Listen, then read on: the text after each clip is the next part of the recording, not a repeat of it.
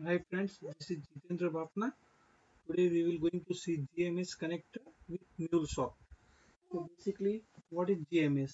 JMS is a Java messaging service which is mostly used by APIs to communicate with the exchange of messages.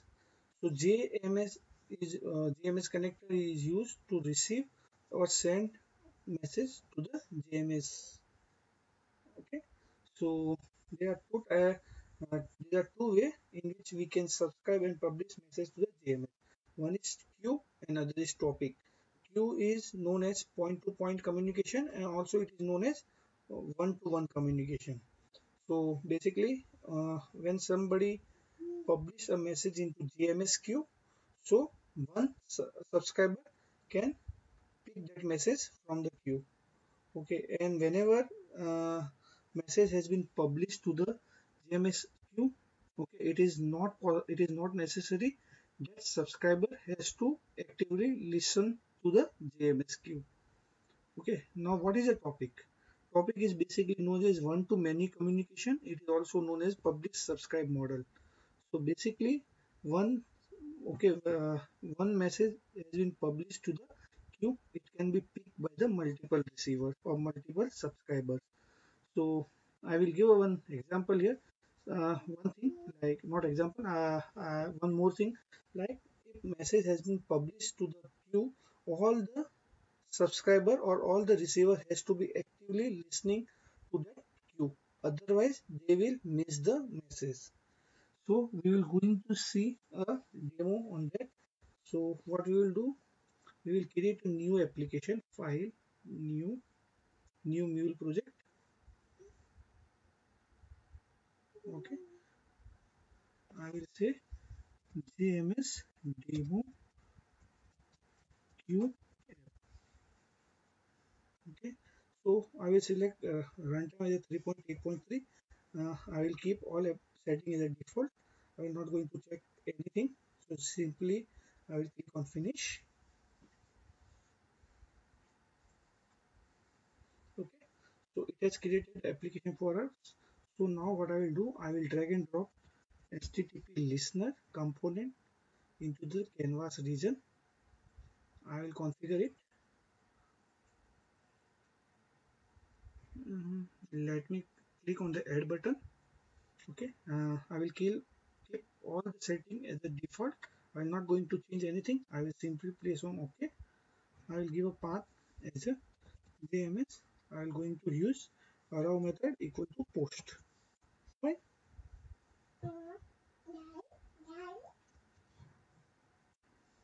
now I will drag and drop logger into the message processor region? Just uh, we will see the payload. Okay. Now finally I will going to drag and drop JMS connector into the message processor where we have to send the message so we will select uh, first queue so in my case I will give a queue name. I have a AP essentials okay.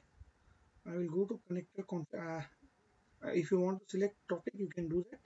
So but out of these two we can select one at a time. Uh, exchange pattern I will keep one way. It is possible for request response also. I will do the connector configuration. I will select there are various JMS uh, WMQ WMQSA JMS WebLogic JMS custom JMS I will select active, MQ so I have URL for that. So this is my JMS URL I will going to paste it in the broker URL so we have a specification version 1.0.2 in my case I will select version 1.1 I don't have any username password. So if you have any username password you can put the username password. I will say okay. I will just click.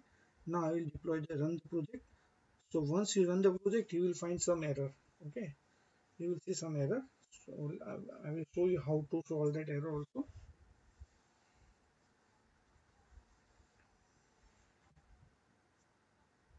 Let's wait till application deploy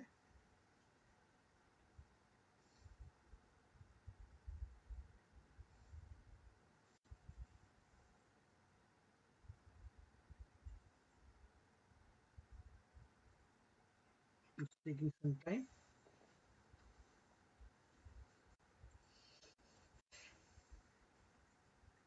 Let me stop and run again.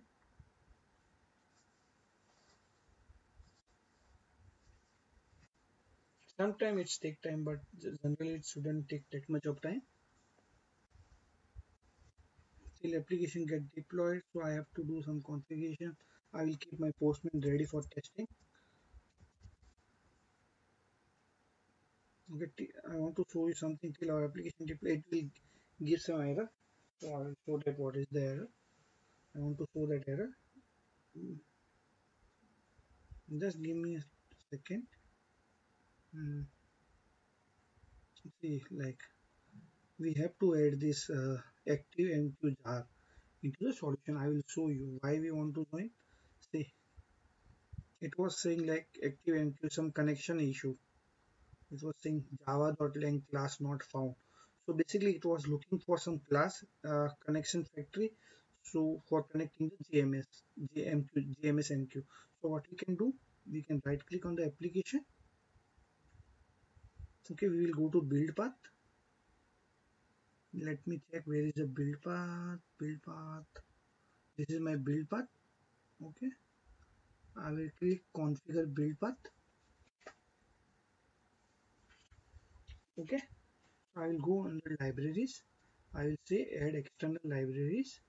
So just pick the active mq library jar file. So in my case it was at this path under jars and this is my file activemq jar. I will simply select ok. Okay i will stop the application. I will try to run it again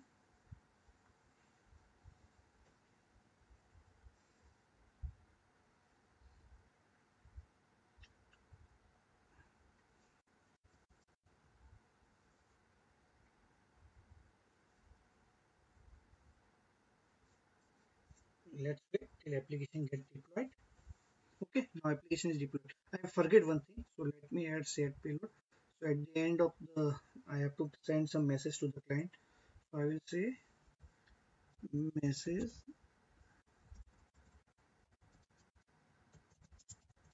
has been sent to you. Okay i will save it so it can deploy the application again it has been deployed i will just send. So it show me like message has been sent to you. I will say more. Okay. So you can see. In here. Okay. So this is how you can send the message to the JMS queue now we will uh, see how we can read the message from JMS queue okay I will remove all this component. Okay I will drag and drop this component here. I will say set payload. Uh, okay let uh, I will say uh, instead of that I will use logger.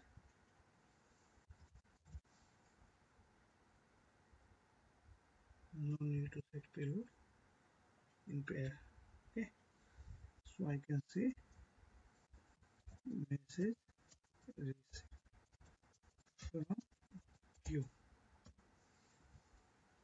Okay let me check everything. Okay we have to keep everything same like okay this is the all same settings all same specification. Now what is the difference? Instead of using the JMS connector in the message uh, processes region we will use them in messages source region let me run the application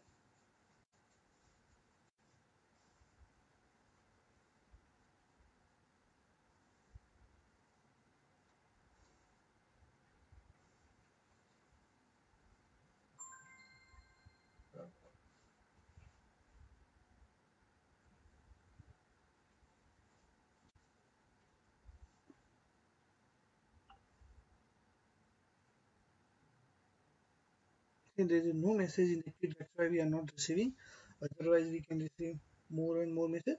So if there is any message in the queue it will pick by the JMS okay? So not an issue.